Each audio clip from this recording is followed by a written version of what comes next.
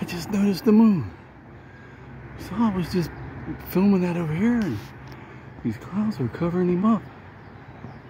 Check this beautiful thing out.